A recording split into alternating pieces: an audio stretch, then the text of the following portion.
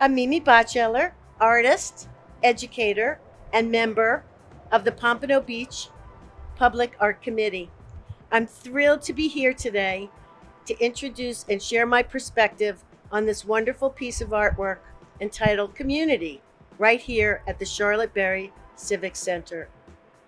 Later, I'd love to invite you back to my studio to share my artwork with you.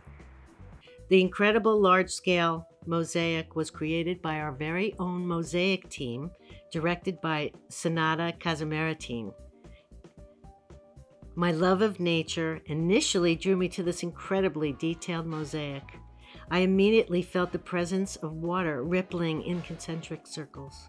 The analogy of both ripples and reflections in the piece speak to me in a variety of ways. I see culture expanding when a wave of art is experienced and how the art reflects and enhances who we are in our community. Different sizes, colors, and textures in the mosaic reflect the diversity and resilience of the community that Charlotte Burrie helped to guide, mature, and grow. Art has a way of opening new ways of seeing and interpreting our world. It is my wish that public art in Pompano Beach will open new conversations and beautify our wonderful, ever emerging community. Hey, everybody, welcome to my studio.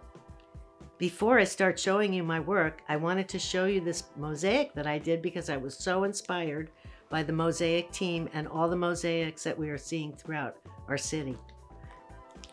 This was my first attempt at a mosaic, but my main work is multimedia and collage. This is a piece that I've been working on recently, inspired by a recent trip to North Carolina. I'm a person that lives in two worlds in nature and in the woods and in an urban environment. And I felt that this captured that emotion that I have, and so many people are torn between the different worlds that they occupy.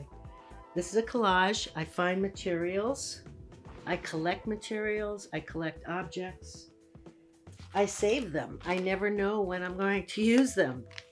All of a sudden, I remembered I had this paper with deer on it, so I cut them out and did a little color pencil on them to make them pop out. And I move things around. Everything that I do is developed intentionally but slowly, layer by layer, decision by decision, until I feel like the piece is finished.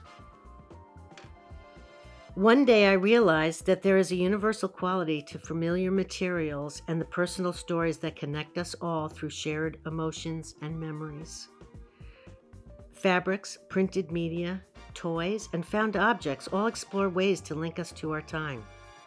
A piece of saved wrapping paper can remind me of all the special gifts I have ever received. This interaction of content and media can reveal the dark, the beautiful, the sublime, and the mysterious dualities that grow from life and real experience. Through observation and intuition, my art seeks to discover unity and balance inherent in the human condition.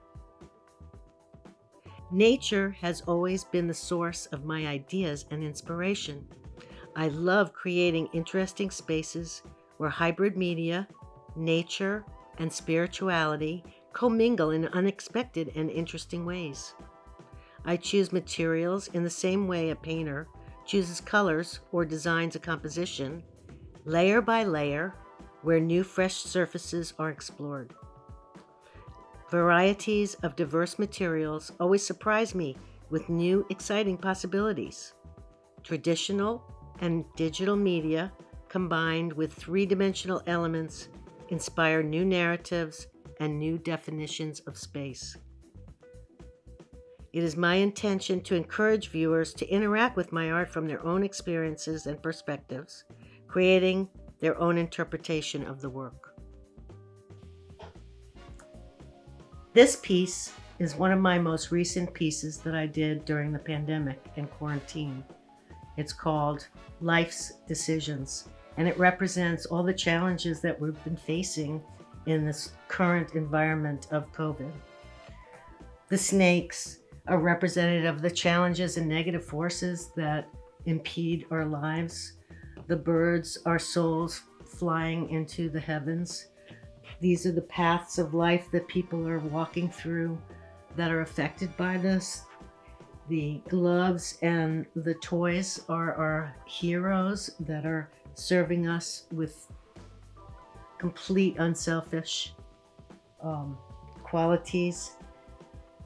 The flowers represent the printed and the artificial world as well as the real world if, in the third dimension. I love to combine all these real materials and put them together in a form that is unique and fresh. Thank you so much for coming to visit me in my studio and giving me a chance to share my experience with the public art in Pompano Beach. If you'd like to see some more work and learn more about me, you can check me out at my website, mimibots.com. Thank you.